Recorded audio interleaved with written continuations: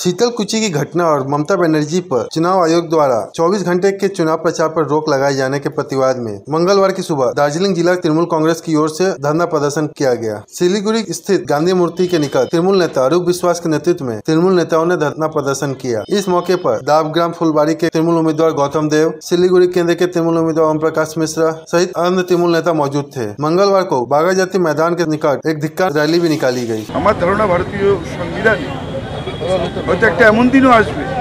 নির্বাচন কমিশনের উপর একটা রিভিউ করার জন্য একটা থার্ড শক্তি বা কাউকে নেওয়া হবে আমার ব্যক্তিগত ধারণা, নির্বাচন কমিশনের কাছে অনুরোধ করব যে তারা নিরপেক্ষতার সঙ্গে কাজ করুক, তারা বাংলার নির্বাচন পরিচালনা করছে। যত কিছুই করুক, মমতা বন্দ্যোপাধ্যায়কে হারানো যাবে না। তৃণমূল দুশোর পরিস্থিতি নিয়ে আবার ক্ষমতায় ফিরে আসবে।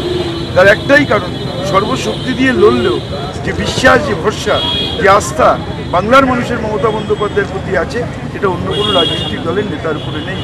নির্বাচন কমিশন পুরোপুরি বিজেপির হয়ে কাজ করছেন এবং এই প্রশ্ন শুধু কোনো রাজনৈতিক দলের নয় সাধারণ মানুষ প্রশ্ন তুলেছে নির্বাচন কমিশনের নিরাপত্তা নিয়ে। এটাই সব থেকে বড় কথা।